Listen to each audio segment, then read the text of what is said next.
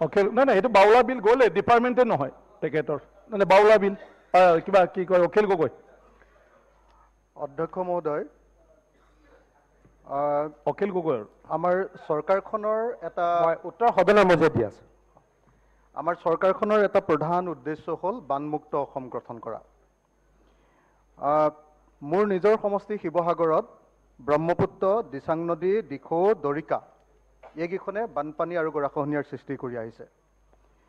মই মূলতঃ এতিয়া দৰিকা নদী বাকী যিকেইখন ডাঙৰ নদী তাৰ কাৰণে বিভিন্ন ধৰণৰ স্কিম ইতিমধ্যে ৱাটাৰ ৰিচোৰ্চ ডিপাৰ্টমেণ্টৰ মন্ত্ৰীৰ হাতত দাখিল কৰা আছে মুখ্যমন্ত্ৰীৰ হাতত দাখিল কৰা আছে বিত্তমন্ত্ৰীৰ হাততো দাখিল কৰা হৈছে প্ৰত্যেকটো স্কিম দাখিল কৰা হৈছে।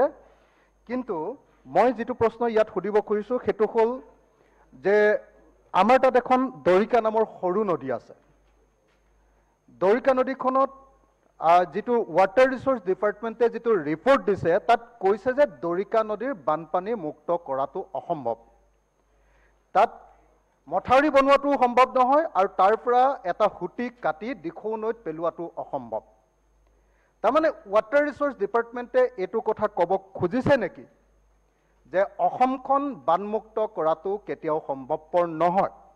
মই সেইকাৰণে আজিৰ দিনটোত ৱাটাৰ ৰিচোৰ্চ মিনিষ্টাৰ ডাঙৰীয়াক ক'ব খুজিছোঁ। তেখেতে কালি মোক ৰিপৰ্টটো দিছে ৱাটাৰ ৰিচোৰ্চ ডিপাৰ্টমেণ্টৰ ৰিপৰ্টটো যে দৰিকা নদীত কেতিয়াও এইটো বানপানী সমস্যাৰ সমাধান কৰাটো সম্ভৱ নহয় বুলি এটা তাৰ পৰা ৰিপৰ্ট দি দিছে।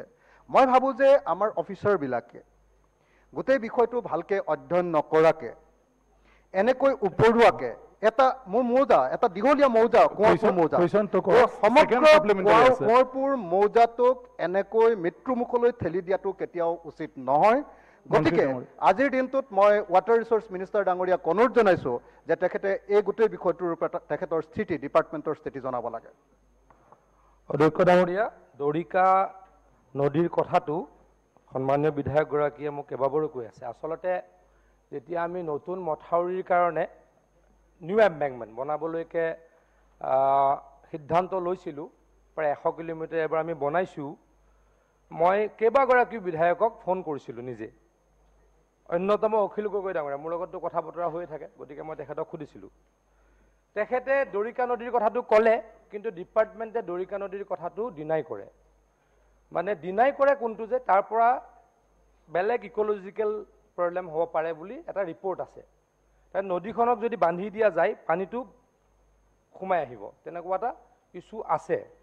কিন্তু মই এটা কথা এটা কথা তেখেতক কৈছোঁ ইতিমধ্যেও কৈছোঁ আজিও কওঁ যে নদীখন কি বেলেগ উপায়েৰে কি- বেলেগ উপায়েৰে নদীখনৰ পৰা নদীখনৰ বানপানীৰ পৰা মানুহক ৰক্ষা কৰিব পাৰি সেই বিষয়ে নিশ্চয়কৈ চিন্তা চৰ্চা কৰি গুৱাহাটীৰ পৰা অতি সোনকালে এটা আমি টীম বনাই তালৈকে পঠাম তেখেতে সহযোগিতা কৰিব। কৰিবলৈকে যত্ন কৰিম। ছেকেণ্ড ছাপ্লিমেণ্টাৰী আছে আৰু কিবা? অধ্যক্ষ মহোদয় বানমুক্ত অসমত যদি এনেকুৱা হয় ৰাজনৈতিকভাৱে যদি ফাণ্ডিংটো কৰা হয় অৰ্থাৎ ৰুলিং পাৰ্টীৰ সমষ্টিবিলাকত অধিক পৰিমাণে ধন আৰু আমি বিৰোধী প্ৰাৰ্থীবিলাক আমাৰ বিৰোধী বিধায়কবিলাকৰ তাত কম পৰিমাণে ধনৰ বিনিয়োগ কৰা হয়। আপুনি কুৱেশ্যনটো কৰক। আপুনি কুৱেশ্যনটো কৰক তথ্য অবিহনেতো ক'ব নোৱাৰে। মন্ত্ৰী পোনপটীয়াকৈ থ্ৰুৱেদি তথ্যটো ধেৰ আছে ইয়াতে মোৰ থ্ৰুৱেদি পোনপটীয়াকৈ প্ৰশ্ন কৰিলে হ'ল সেইকাৰণে অধ্যক্ষ মহোদয় আমাকো লাগে বুলি ক'লে হ'ল যদি পোৱা নাই।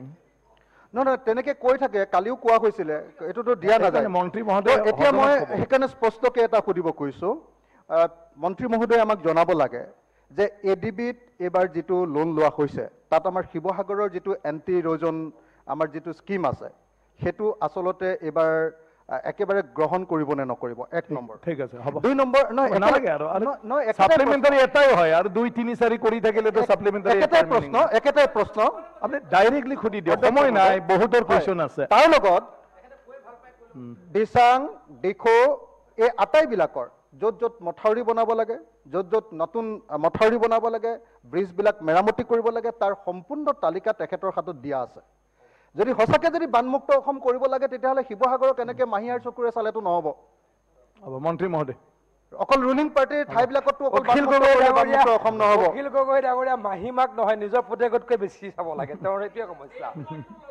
ৰ'ব ৰ'ব তেইছ লাখ ল'লে মই তিনি কালি তেইছ লাখ পাইছে বুলি কৈছে মই তিনি লাখো পোৱা নাই।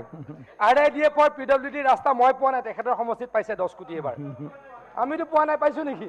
তেখেতে পাইছে। গতিকে কেনেকে মাহী আই হ'ল? কেনেকে আই হ'ল কেনেকে মাহী আই হ'ল তাৰ পাছত তাৰ পাছত তাৰ পাছত এখেতে এখেতে শুনাৰ ধৈৰ্য তেখেতৰ নাই। অকল বেলেগক শুনাই থাকিব। অকল বেলেগক শুনাই থাকিব। মই কৈছিলোঁ যে তেৰটা স্কিমৰ কথা এ ডি বিত শিৱসাগৰৰ নাম কৈছিলোঁ মই। তেখেতে নুশুনিলেই। তেখেতৰ মতলবটো কি? মোৰ কথাই বেলেগে শুনিব লাগিব মই কাৰো কথা নুশুনো।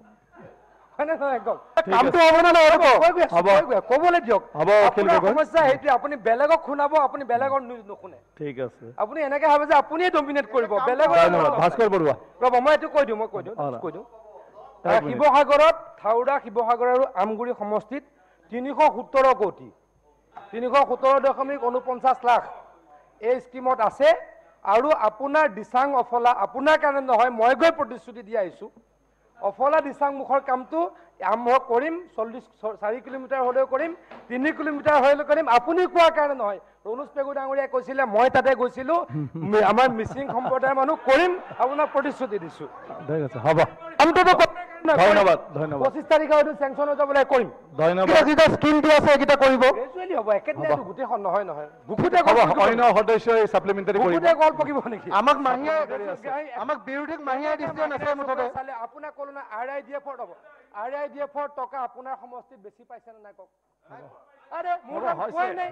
মোৰ তাত পোৱাই নাই। আঠশ কিলোমিটাৰৰ ভিতৰত ছয় দশমিক দুই কিলোমিটাৰ পাইছো তাত পোৱাই নাই। দহ কোটি টকা আঠশ কিলোমিটাৰৰ ভিতৰত ছয় দশমিক দুই কিলোমিটাৰ পাইছো। লাহে ডিপাৰ্টমেণ্টৰ মই মথাউৰি বাদ মোক ক'ব দিয়ক মোক মোক ক'ব দিয়ক। আঠশ কিলোমিটাৰৰ ভিতৰত মোক ছয় দশমিক দুই কিলোমিটাৰ মোক পাইছো অধ্যক্ষ ডাঙৰীয়া। ৰিপ্লাইটো শুনক না। আঠশ কিলোমিটাৰ এশ ছাব্বিছটা সমষ্টি নহয় জানো? আপুনি বেছি পাইছে। ৰিপ্লাইটো শুনক আৰু এটা কথা মই কৈছো পি ডব্লিউ ডিৰ যিখিনি দহ কোটিকে টকা পাইছিলে মোৰ সমষ্টিত পোৱা নাই। তেখেতৰ সমষ্টিত পাইছে। তেখেতে তেইছ লাখ টকা পাইছে। তেখেতে তেইছ লাখ টকা পাইছে চি এম ৰিলিফ ফাণ্ডৰ মই তিনি লাখ টকা পাইছো। হাতত ল'বলৈ কিয় থাকে? আপুনি থাউৰাটো থাউৰাটো তাক যোগ দি দিলে ক'ত হ'ব? থাউৰাটো যোগ আমাৰ ইনচাৰ্জ মিনিষ্টাৰ ইনচাৰ্জ মিনিষ্টাৰ কৰি আমাৰ তেখেতৰ হাতত মানে কৰিব লাগিব। হাতত পৰা নাই কিন্তু ভাস্কৰ বৰুৱা। হাতত পৰা ভাস্কৰ বৰুৱা। মহোদয়, এনেকে। ক'লে পোৱা যায় নেকি? আমি কোৱা নাই সুধিছো এনেকে ক'লে পোৱা যায় নেকি? নক'লে পোৱা নাই যায় নেকি।